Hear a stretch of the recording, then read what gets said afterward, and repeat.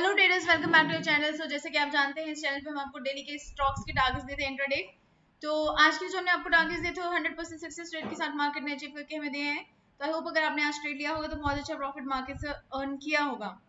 तो अब चलते हैं कल के लिए, यानी कि ट्वेल्थ मई टू के लिए जो पहला स्टॉक हम आपको रिकमेंड कर रहे हैं, वो है हिंजिंग हिंजिंग को अगर हम ऑब्ज़र्व करें तो डे के चार्ट पे ये एक रेजिस्टेंस लाइन से रेजिस्टेंस ले रहा है. और डाउन से इसे सपोर्ट मिल रहा है कॉन्टिन्यूसली और अभी ये यहाँ पे कॉन्सोलिडेट हो चुका है। वन आवर के चार्ट पे अगर हम इसमें स्विच करते हैं तो यहाँ पे बहुत स्ट्रॉन्गली कॉन्सोलिडेशन आ चुकी है। और यहाँ से मार्केट ने जो लास्ट 15 मिनट की कैंडल है, यहाँ पे आप देख सकते हैं कि मार्केट ने नीचे ओपनिंग करी उसके बाद वापस अंदर की तरफ़ क्लोजिंग दे दी है। 15 मिनट के चार्ट पे चलते हैं तो यहाँ पे हमें और ज़्यादा क्लियर हो रहा है कि मार्केट ने अपसेट कमेंटम लिया है लास्ट के 15 मिनट में। यानी कि मार्केट नीचे की तरफ़ सस्टेन नहीं कर पाई है तो इसमें प्रोबेबिलिटी अपसाइड की तरफ़ ज़्यादा है। लेकिन हमें दोनों साइड को कंसिडर करना होगा तो जिस भी साइड पे मार्केट जो है ब्रेक लेगी, उस साइड का हम ट्रेड प्लान करेंगे। तो यहाँ से हमें मेजर करना होगा। इस लाइन को हम मेजर करेंगे, यहाँ से इस डिस्टेंस को मेजर करेंगे और इस डिस्टेंस को हम यहाँ पर अप साइड पे रख देंगे। अप साइड पे और डाउन साइड पे दोनों साइड पे रखेंगे और जो अप साइड का टारगेट निकल रहा है, उसमें अगर हम यहाँ पे देखें, इस लेवल से पहले, इस लेवल पर एग्जैक्टली इस लेवल पर यहाँ पर हमें ये दो कैंडल्स मिल रही हैं जो कि यहाँ पे रेजिस्टेंस फेस करती हुई नज़र आ रही है। तो एग्जैक्टली इस लेवल पर हम मार्क करेंगे।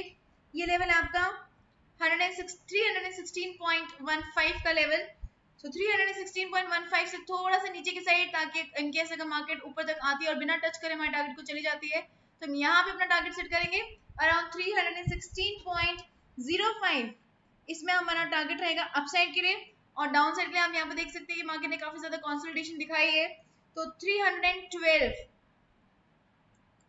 312. एट फाइव तक इसमें हम अपना टारगेट रख सकते हैं। आवर के चार्ट पे स्विच करते हैं। आवर के चार्ट पे देखिए, यहाँ पे मार्केट ने काफ़ी ज़्यादा कंसोलिडेशन दिखाई है। तो यहाँ पे हम मार्क कर लेते हैं three hundred and twelve point eight five का आप मार्क कर लीजिए। ये हमारा डाउन साइड का टारगेट रह सकता है। जिस भी साइड पे मार्केट ब्रेक लेगी, उस साइड पे हम टारगेट अपना प्लान कर सकते हैं। नेक्स्ट जो स्टॉक हम आपको रिकमेंड कर रहे हैं, वो है Fortis two sixty eight point five zero का स्टॉक है। डे के चार्ट से स्टार्ट करेंगे। डे के चार्ट पे अगर हम देखें तो तीन हमें रेड कैंडल्स देखने को मिल चुकी है। मोस्ट प्रोबेबली नीचे की तरफ़ गिर सकता है।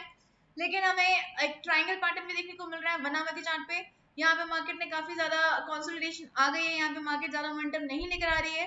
15 मिनट्स के चार्ट पे अगर हम देखते हैं तो यहाँ पे देखिए मार्केट जो है, इन दो मोमेंटम के बीच में दो लाइंस के बीच में कल मार्केट काम कर सकती है, क्योंकि इतना ही एरिया जो है, अभी भी मार्केट में बचा हुआ है। तो हम इन दो लाइंस को कंसिडर करके चलते हैं, और हमारा जो अपसेट का टारगेट है, वो हम सेट कर सकते हैं अराउंड 269.15 के पास। ये हमारा अपसेट का लेवल रहेगा। और डाउन साइड का जो टारगेट रहेगा वो रहेगा अराउंड 267.95 का।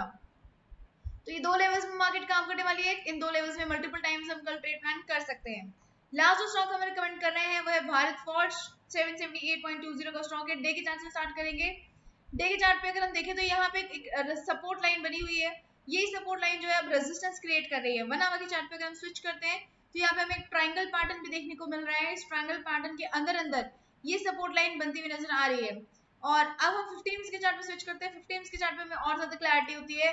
देखिए मार्केट ने यहाँ पर आई थी। मार्केट उसके बाद ये रेजिस्टेंस लाइन जो है, यहाँ पर आके लास्ट के 15 मिनट की कैंडल में एक और रेड कैंडल बन गई है, वो भी हाई वॉल्यूम के साथ। तो मोस्ट प्रोबेबली मार्च पॉइंट जो है नीचे की तरफ़ गिर सकता है। इसलिए सेल सेट रिकमेंडेड होगा। इसका जो टारगेट रहेगा, वो रहेगा 775.25 के पास। इस लेवल के पास हम इसमें अपना टारगेट रख सकते हैं और जो एसएल रहेगा वो इस वाली रेजिस्टेंस लाइन से थोड़ा सा ऊपर की तरफ़ सेट करेंगे। अराउंड 780.45 इसमें हम अपना रेजिस्टेंस लेवल रख सकते हैं।